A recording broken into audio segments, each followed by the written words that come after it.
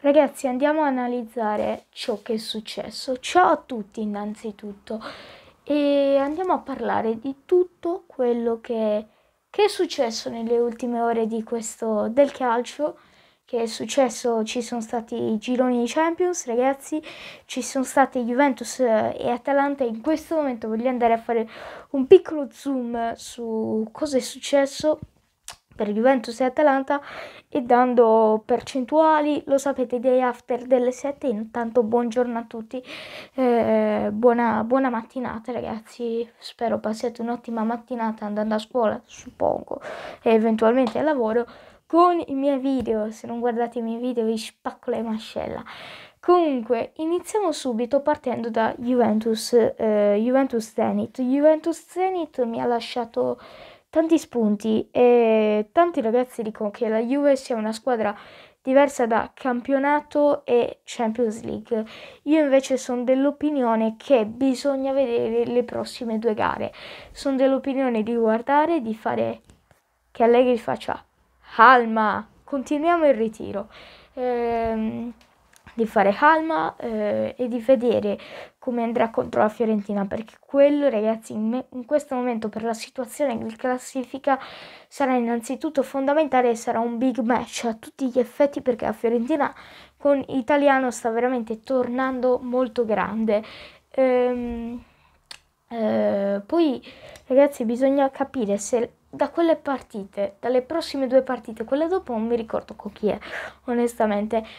Da lì si capirà se la Juventus è stata è una squadra assolutamente diversa tra Champions League e campionato oppure se è una squadra che può andare non dico al pari passo, ma più o meno sì.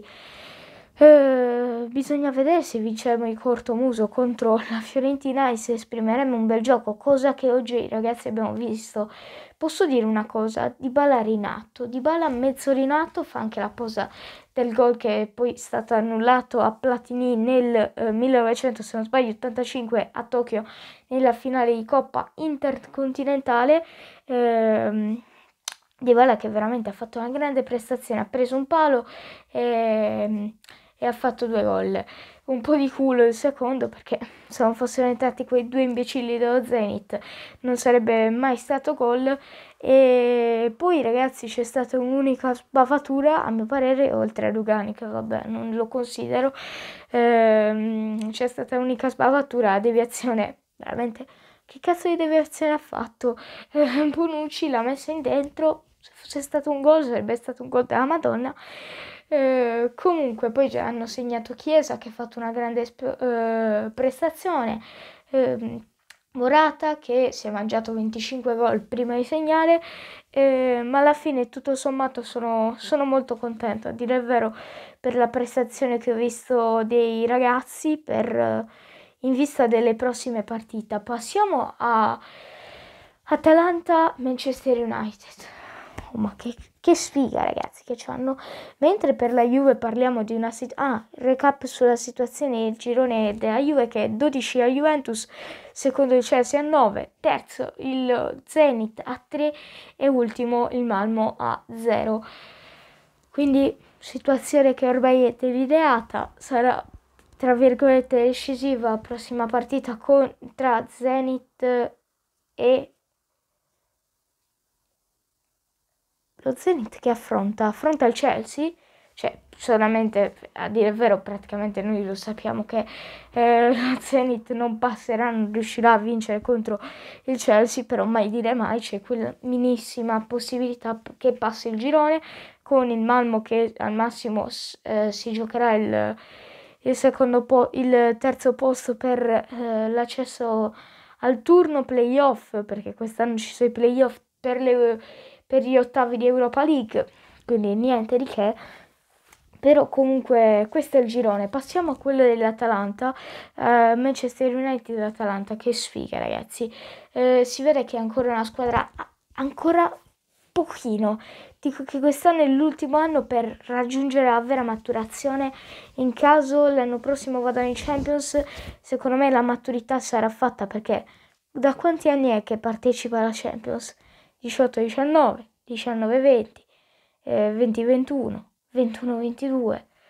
ragazzi, gli anni, gli anni passano. No, 19 e 20 la prima, 20-21 la seconda, 21-22 la terza, quindi ragazzi gli anni passano ormai dopo 2-3 anni in Champions League riesci a maturare. Poi Ronaldo veramente sembra agguerrito contro l'Atalanta, ancora non gliela vuole dare a Gosses ovviamente la maglia, eh, infatti fa due bei fischioni, ma eh, veramente questa questo Manchester United dovrebbe essere una grande squadra che però gira solamente su due giocatori che sono Bruno Fernandes e Cristiano Ronaldo. Eh, Bruno Fernandes che fa gli assist, che fa i bei passaggi e Ronaldo che la butta dentro. Devono capire che così non vanno avanti. La situazione del girone, ragazzi, è critica di davvero per l'Atalanta che si trova eh, terza con 5 punti con dietro Young Boys che ne ha 3 con davanti le due, eh, le due leader in questo momento che sono la spagnola Villarreal e il Manchester United, tutte e due a pari merito a 7, quindi può essere una situazione abbastanza vantaggiosa, abbastanza a vantaggio per l'Atalanta. Però bisogna vedere come andrà ragazzi. In ogni caso questo video si conclude qua. Fatemi sapere ovviamente la vostra, come sempre qui sotto nei commenti. In ogni caso noi ci vediamo.